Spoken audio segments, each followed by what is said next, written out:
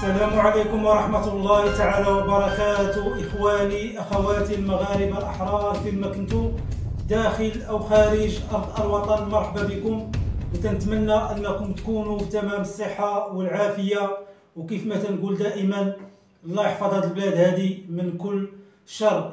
إذا إخواني أخواتي كيف ما شفتوا في العنوان موضوعنا هو جريمة قتل راح ضحية ديالها شاب يوم عاشوراء.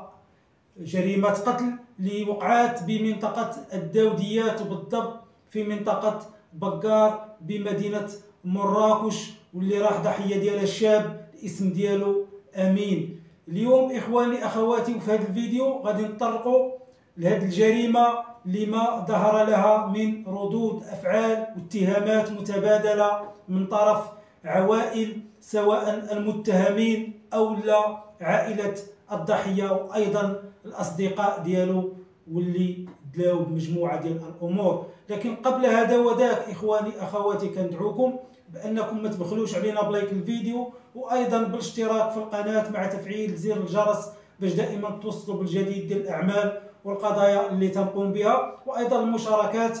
وهذا فضل وكرم منكم إخواني أخواتي. يوم عاشوراء وبالضبط في هذاك اليوم الناري إن صح التعبير اليوم ديال شعالة وقعات واحد الحادثة بمنطقة الدوديات وبالضبط بمنطقة بقار راح ضحية ديالها واحد الشاب نتيجة ديال واحد الخلاف.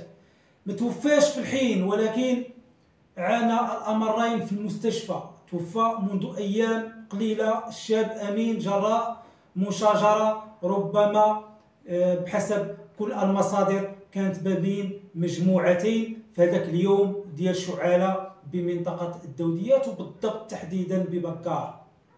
ف باش أننا يعني قبل ما أنني نمر المستجدات اللي واقعة ما بعد وفاة آمين من بعد معاناة كثيرة وقوية جراء ما تعرض له من آه يعني آثار للضرب. فغادي نغوص في تفاصيل الحادثة وأشنو اللي وقع حتى وصلنا لهذه المرحلة اللي فيها اتهامات متبادلة وأيضا وجود أشخاص يعني عندهم واحد سوء نية اللي الهدف ديالها هو آه، إنشاء واحد الخلاف كبير ما بين العائلات ديال ديال المتهمين وأيضا العائلة ديال الضحية. ففي هذاك اليوم بالضبط ديال ديال شعالة يعني مدة ديال أزيد من 10 أيام من الآن فأمين خرج رفقة جوج ديال الأصدقاء ديالو كيترافق معاهم كالعادة كيف ما ديما مشاو جلسوا في المنطقة في هذيك المنطقة ديال بقار. مجموعة ديال الأشخاص آخرون اللي هما اليوم المتهمون واللي ما بيناتهم كاينين حاليا معتقلين وأيضا حتى الأصدقاء ديال أمين معتقلين حاليا. هذه المجموعة ديال الشباب مرات من القرب من هذيك المجموعة اللي كان فيها الضحية ربما نشب بيناتهم شي خلاف ربما شي حاجة شي كلام كلمة من التحت كلمة من الفوق الدراري شباب صغار في اللاج نشب بيناتهم ذاك الخلاف انتهى الخلاف بسقوط شخص ما بين الحياة والموت اللي هو الضحية أمين. تهج تهز على جناح السرعة المستشفى مضى مده ديال 10 أيام وهو في العلاج آه هذه العشر أيام مرت كالجحيم على العائلة ديالو أيضا على العائلة ديال المتهمين. العائلة ديال الضحية منذ وقوع الحادث مشات في الإجراءات القانونية والمسائل ديالها من أجل أنها تظهر الحقائق. فاليوم مع معطى وفاة أمين آه، يعني متاثرا بالجروح ديال الاعتداء اللي وقع ليه طرأت مجموعة ديال المتغيرات مجموعة ديال الأمور. العائلة ديال الضحية كتقول أنها فقدات الإبن ديالها وأكثر من هذا كتعرض لتهديدات. كتعرض لتهديدات آه علاش مشيتوا في المساطر القانونية؟ علاش هاد الأمور هاد التهديدات كتجيهم من أناس ما تمتش الإشارة إليهم بشكل مباشر ولكن المفاد ديال كل هذاك الكلام هو أن العوائل ديال المتهمين هما من وراء هذه التهديدات. هذا الأمر اللي خرج العوائل ديال المتهمين باش يبينوا الواقع الحال ديالهم ويبينوا الصورة ديالهم في وسط المجتمع كيفاش دايرة وأنهم ماشي من هذاك المستوى ديال العوائل الإجرامية أو شي حاجة بحال هذا الشكل بل هما ناس عاديين بل أكثر من هذا ما عندهمش مع هذا الشيء وما عندهمش ماضي في هذا العالم وماشي طريقهم هذيك بل أكثر من هذا أنهم كانوا بغاو يدخلوا في اللحظة اللي كان الشاب أمين كيتلقى العلاجات باش أنهم يديو المستشفى خاص على النفقة ديالهم. لكن خوفا من شي ردة فعل لأن الجرح كان آه، غائر عن العائلة ديال الضحية. هذا الأمر شكل لهم عائق. هذا كلام ديال العائلة ديال الجاني. العائلة ديال الضحية كتضيف مجموعة ديال الأمور واللي آه، المفاد ديالها هو أن فعلا وقعات جريمة ديال القتل وانهم تحاماو على أمين ستة أو لا خمسة المهم مجموعة ديال الشباب. العائلة ديال المتهمين تتقول بأن آه، يعني المتهم الرئيسي اللي هو معتقل حاليا أنه آه، مشى وما عندوش شي سوابق عكس ما آه، يشاع. ما عندوش شي ماضي إجرامي كما يشاع. فمشى هذيك الليلة خرج رفقة مجموعة ديال الأصدقاء ديالو. يعني وقع خلاف هو ما عندوش آه، يد فيه بشكل مباشر.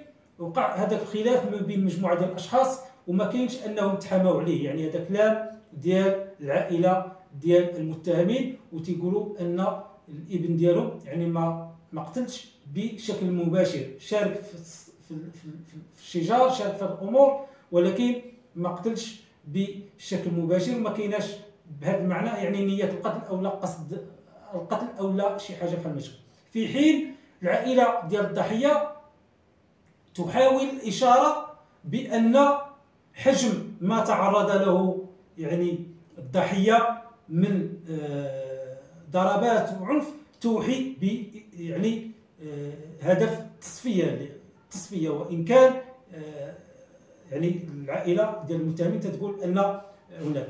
على أي تتبقى التحقيقات هي سيدة الموقف. هاد التحقيقات اللي ما سلماتش من دورها أو لا آه، يمكن نقولوا العائلة ديال ديال الضحية كتحس بأن مغلوب عن أمرها. لهذا فقالت بأنهم ما استطاعتهمش أنهم يعطيوا الرشوة وأن الرشوة ربما توقف عائق أمام محاكمة عادلة أمام تحقيقات عادلة. آه، هذا الأمر هذا اللي تكلمات عليه أيضا العائلة ديال المتهمين وقالوا أنهم مع العدالة ومع التحقيقات ومع هذه الأمور هذه أنهم ما يعطيو حتى شي رشوة ما ما يديروا حتى شي حاجة آه، لأن هذه ماشي أخلاقهم.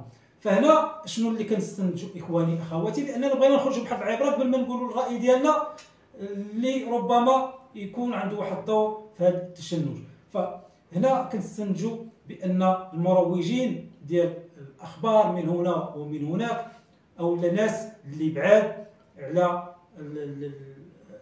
الموضوع هما اللي كينقلوا هذيك المعلومات من أجل تخويف أو لا آه، ترهيب العائلة ديال الضحية. ربما ناس اللي عندهم مصالح آه، بغاو يستغلوا هذا الحادث من أجل يعني آه، تخويف أو لا خلق التشنج أو لا.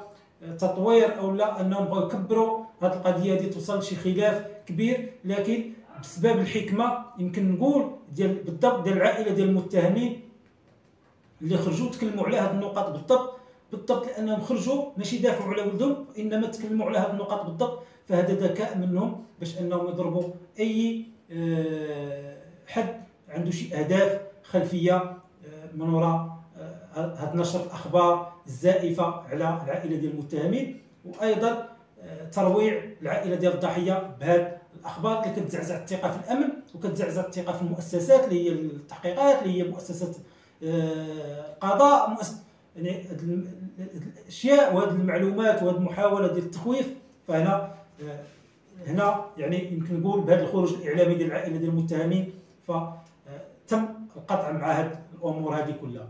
فأنا من المنظور ديالي كنقول وكنشوف بأن أنا الأوان باش أن يعني العائلة ديال المتهمين المتهم الرئيسي الأصدقاء ديال المتهمين أنهم يتواصلوا مع العائلة ديال الضحية والقضاء غادي ياخذ المجرى ديالو التحقيقات ديالو يعني شروط العزاء وهذه الأمور هذه باش تقطع ديك الأمور اللي ممكن أنها تشكل واحد آه، التشنجات لأن كيبان لي من خلال كلتا العائلتين أن هنالك كاين واحد واحد النيفو وكاين واحد تفهم الأمر وكاين آه، الإيمان بالقدر والقضاء آه، عند العائلة ديال ديال الضحية لأنهم آمنوا بالمعطى آمنوا كيبان أنهم آمنين بهذه الأمور هذه شي جار وقع آه، واش كاين عمد القتل ولا ما كاينش.